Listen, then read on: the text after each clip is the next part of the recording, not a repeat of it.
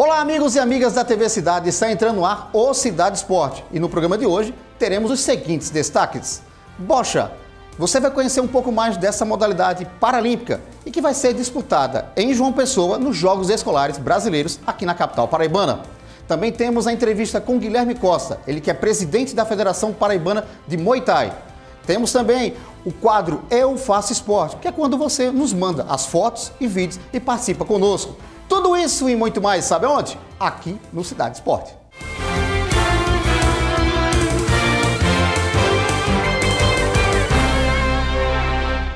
Nos siga, arroba TV Cidade JP e compartilhe esse programa nas suas redes sociais com amigos, familiares. Lembrando a você que também estamos na TV aberta na terça-feira no canal 6.3, sempre às 11h30 da manhã e com reprise às 17 horas e 30 minutos.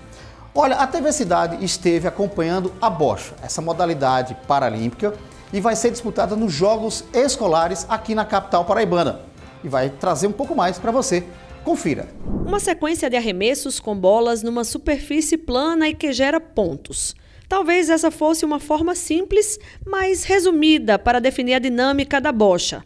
Mas não é preciso saber muito, colocar linhas e linhas de informação nessa reportagem. Basta fazer entender o quanto ela é importante para pessoas como a Heloísa. É uma experiência muito boa para mim, sabe? É uma experiência que me deixa muito feliz, que me traz bastante alegria desde que eu entrei para esse esporte. Eu fico muito feliz. Só de estar aqui eu já fico muito animada. São 13 anos de idade e 6 meses na prática da bocha. Já tem medalha. Como eu já fui ano passado e trouxe medalha, só que dessa vez eu quero de ouro, né? Não só ela, mas outras pessoas com paralisia cerebral e outras deficiências conseguem se desenvolver no esporte em João Pessoa. Esse grupo é da Associação de Criatividade Artística e Desportiva para Pessoas com Deficiência. Os integrantes se encontram pelo menos quatro vezes por semana na quadra do Centro Administrativo Municipal. Eu costumo dizer assim: você tira esses meninos muitas vezes com deficiência severa, como vocês estão vendo aí. Muitos desses meninos estavam apenas vegetando em cima de uma cama saindo da sua casa para uma fisioterapia ou para um médico e voltando para casa. Hoje eles são considerados atletas. Não é apenas aquele fardo para a família, mas é muitas vezes motivo de orgulho para sua família, para sua cidade, para sua para o seu para sua escola. Temos aqui atletas que já foram campeões brasileiros escolares da rede municipal de João Pessoa. A Defise SEDEC DGF, né, instituiu o CAM, Centro Administrativo, esse ginásio, como uma área de treinamento e absorção desses atletas, desses para-atletas, para a prática de várias atividades físicas paralímpicas. Dentre elas a bocha, que vocês estão observando aqui hoje, o basquete cadeira de rodas, onde a gente iniciou esse trabalho paralímpico para assim vir, vir a colher frutos no futuro. Passo importante para apoiar quem já apoia e há um bom tempo ajudando não só o treinador, mas os atletas. É o time de pais, mães e responsáveis que contribuem para dar sentido a essa prática. Seu José, por exemplo, começou só vendo a filha treinar, mas o amor fez com que ele entrasse no jogo também, como calheiro, essa espécie de assistente para os arremessos. Eu entrei como calheiro acidentalmente em 2009, porque ela foi para a primeira Paralimpíada do Brasil e chegando lá, o professor não pôde ir por conta da questão de passagem, uma série de coisas. E como eu já estava lá com ela, eu nunca tinha praticado. Para entrar na quadra, como ela precisava do calheiro, a gente teve que adaptar um pedaço de cano, tomar bolas emprestadas, que nós não tínhamos as nossas próprias bolas. E a partir daí eu também me apaixonei pelo esporte e comecei a treinar junto com ela. Foi uma descoberta assim fantástica e foi muito bom poder participar das vitórias de Ruth. Sonho compartilhado também entre mãe e filha. Nossa, é muito bom, muito bom mesmo. Ter o apoio dela é muito importante para mim.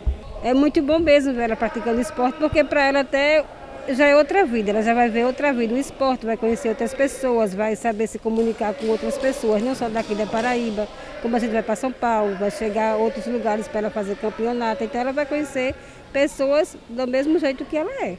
O meu sonho é ela trazer a medalha de ouro para Paraíba. Eu tenho fé em Deus que ela vai trazer. E eu quero agradecer a todos vocês que fazem a bocha aqui em João Pessoa, né? Então, aos atletas, ao Gilmar, ao Teodan, enfim, parabéns pelo trabalho desenvolvido aqui na capital paraibana. Olha, no último sábado aconteceu uma competição de xadrez No último sábado foi o segundo festival de xadrez escolar no shopping Live Mal. Esse festival é uma disputa simultânea entre o professor Kleber Malks com 10 jogadores distribuindo seus tabuleiros. O festival teve uma duração de quatro horas. Entre os participantes estavam professores, alunos de escolas públicas e privadas. Segundo o professor Kleber, o jogo de xadrez contribui para o raciocínio lógico, matemático, desenvolvimento cognitivo na aprendizagem em todo o processo do desenvolvimento acadêmico. E também estimula o pensamento científico, crítico e criatividade, tomando a decisão de autocontrole.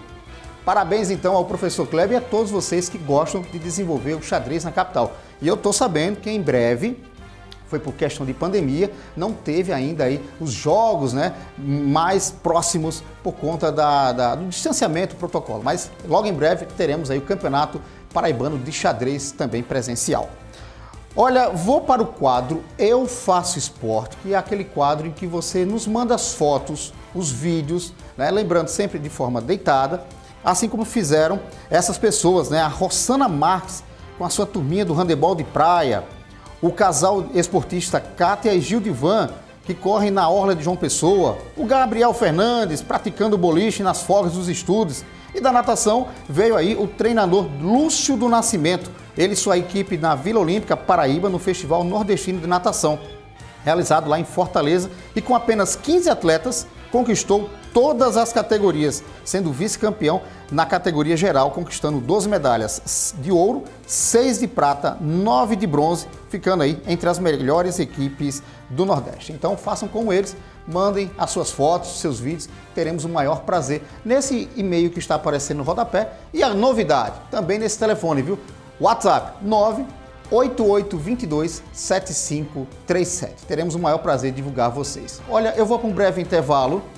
Na sequência, temos uma entrevista super interessante com ele, o presidente Guilherme Costa, ele que é presidente da Federação Paraibana de Muay Thai, trazendo tudo mais sobre esse esporte aqui na capital. TV Cidade, a emoção do esporte começa aqui.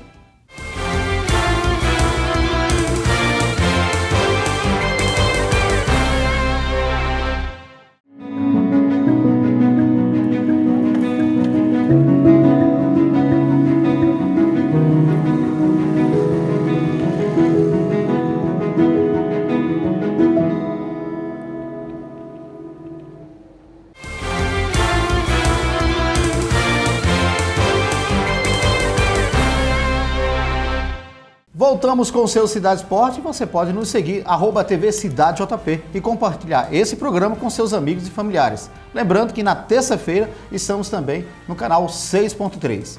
Já ao meu lado aqui, Guilherme Costa, ele que é presidente da Federação Paraibana de Muay Thai. Presidente, seja bem-vindo ao Cidade Esporte. Obrigado, agradeço o convite de estar aqui com vocês também e poder falar um pouco aí da nossa modalidade. E o que é o Muay Thai? O Muay Thai é uma luta tailandesa, onde nós usamos as mãos os cotovelos, joelho, chute. É parecido com o pessoal assim mistura às vezes né, com o kickbox, mas é diferente do kickbox porque a gente trabalha o clinch também, as cotoveladas e alguns tipos de queda também. Além das regras que são um pouco diferentes também. Quem quiser perder peso, então é uma ótima opção, hein? É, para perder peso é, é, o que há, é uma modalidade muito boa para perder peso. E na Paraíba, como é que está o Muay Thai paraibano? Hoje, assim, graças ao, ao, trabalho dos treinadores, mesmo a dedicação né, do, dos treinadores daqui, tá, a gente está no nível, no mesmo nível do Sul-Sudeste. Então a gente tem atletas nossos hoje lutando em São Paulo, Rio, Curitiba, a gente está mandando é, o pessoal daqui da Paraíba para lutar em vários outros estados, além de Pernambuco, Natal, os mais próximos aqui, né? Então, árbitros e os atletas estão de boa. É, hoje a gente tem um, um, quadro de arbitragem da federação, que são árbitros treinados também. A gente sempre faz é, os treinamentos com eles também, a gente traz outros árbitros de fora para poder estar tá capacitando. Então hoje o nível técnico da nossa arbitragem aqui também não deixa de desejar para nenhum estado. Quanto aos lutadores, quem vem se destacando da Paraíba? Ó, a gente tem atualmente o, o Gerbinho, que é um atleta de Cajazeiras, que foi lutar agora em São Paulo, fez um GP lá em São Paulo fez uma ótima apresentação, a gente recebeu um feedback muito positivo dele, do pessoal de lá também. Atleta muito guerreiro, muito bom. Tem o pessoal de Campina Grande também, que também vários lá se destacam. Temos um atleta mirim também, o Gustavo, que é aqui de João Pessoa, que foi lutar em São Paulo também, no School Box. Então, assim, é, hoje o nosso nível de Muay Thai já dá para bater de frente com de qualquer outro lugar do Brasil. Que bacana. Agora, isso é fruto de um calendário que a federação já vem desenvolvendo? Como é que estão esses calendários de eventos? É, nós temos, é, temos os, os, filiados da federação. No, no, início do ano a gente faz uma reunião e elenca os, o, os eventos. Então a gente tem 12 eventos já para esse ano de Muay Thai. Já tivemos um já que foi realizado em Campina Grande. Vamos ter um agora em Sapé também, que é um evento 100% feminino. Vai Nossa. ser o primeiro evento 100% feminino aqui da Paraíba também, no Muay Thai. Então vai ser o Kamikaze Fight, também vai ser em Sapé. Temos o em Areia também, vamos ter em maio agora, o Barreto Fight também no Junco do Seridó. E aí vai, vão vindo, né? Temos vários eventos, então agora a gente tem mais possibilidades de colocar os atletas para poder estar tá lutando. Mas o mais importante é a capacitação dos treinadores que estão treinando os seus atletas na regra, os regulamentos certinho.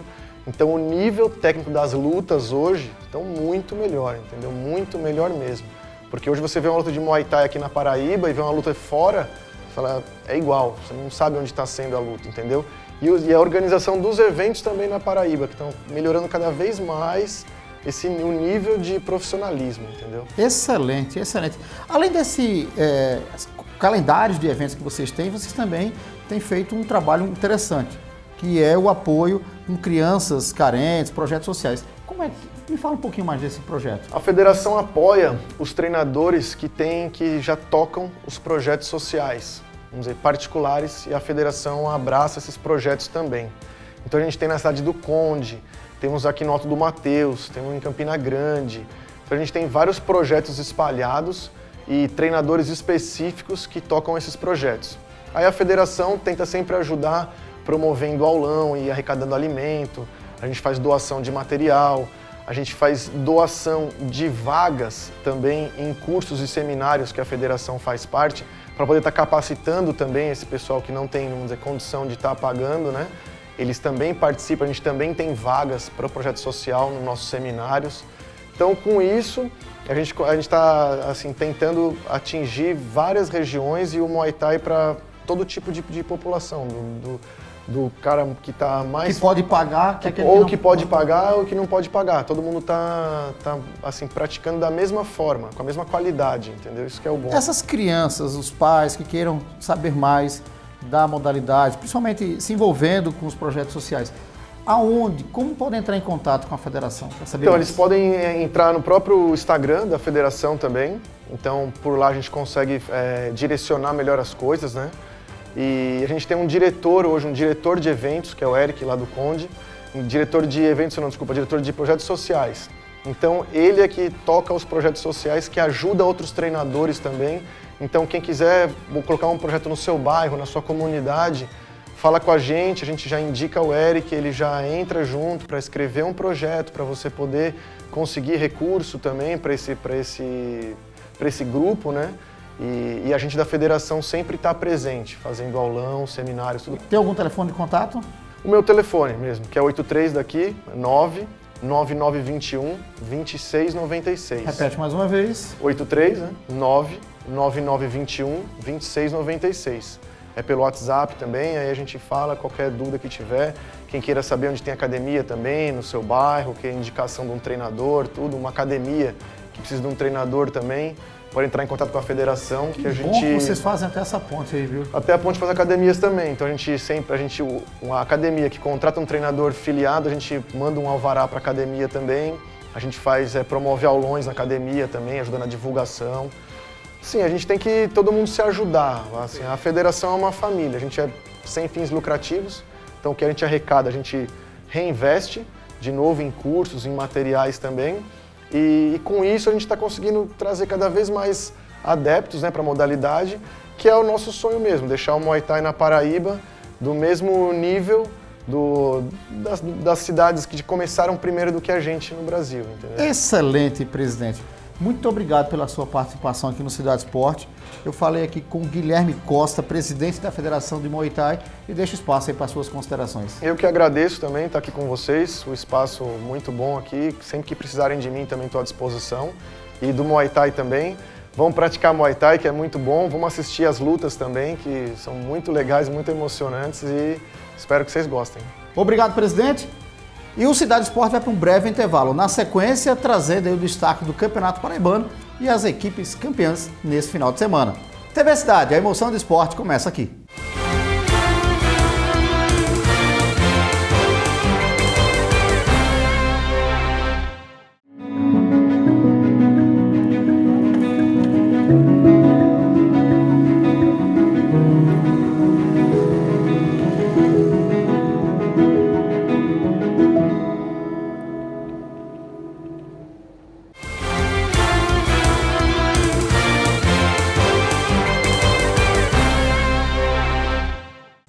Voltamos com o seu Cidade Esporte, agora destacando o futebol, parabenizando inicialmente as equipes campeões aí em São Paulo, Palmeiras diante do São Paulo, no Rio, o Fluminense batendo aí o Flamengo e também o Fortaleza que venceu o Esporte do Recife na Copa do Nordeste, né? Então, parabéns aos três campeões neste final de semana.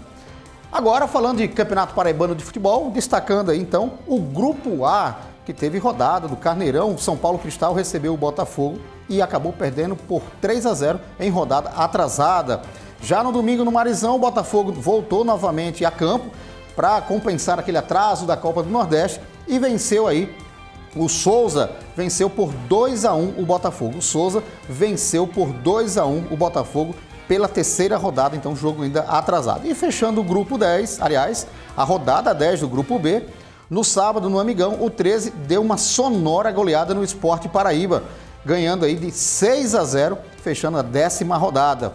Também no sábado, no José Cavalcante, lá em Patos, o Nacional de Patos perdeu para o Campinense por 3 a 0, também fechando a décima rodada. E a classificação do Campeonato Paraibano ficou a seguinte. No grupo A, o Souza é o líder com 14 pontos, porém com 6 gols de saldo. O segundo colocado é o Botafogo, também com 14 pontos, mas com um gol a menos, ficando com 5 gols de saldo. O São Paulo Cristal é o terceiro, com 10 pontos. O Alto Esporte, com 8, é o quarto colocado. E já rebaixado, o Atlético de Cajazeiras, com apenas 2 pontos. No grupo B, o primeiro colocado é o Campinense com 22 pontos, o segundo, o Nacional, com 13, o terceiro é o 13 com 12 pontos, o CSP é o quarto com 7 e o rebaixado aí foi o Esporte Paraíba com apenas 3 pontos, ficando na quinta colocação. A próxima rodada tem a seguinte: Seguintes jogos: o Grupo A. Nesta quarta, às 8 horas e 15 minutos, no estádio Almeidão, Botafogo recebe o Atlético de Cajazeiras pela décima rodada. E na quarta-feira também, às 8 horas e 15 minutos, no estádio Marizão, tem Souza e o Alto Esporte. E não tendo jogo aí pelo Grupo B. O Cidade Esporte vai ficando por aqui. Na próxima semana teremos mais esporte. E eu convido você a nos acompanhar, tanto no canal 6.3, como também nas redes sociais. Tá certo?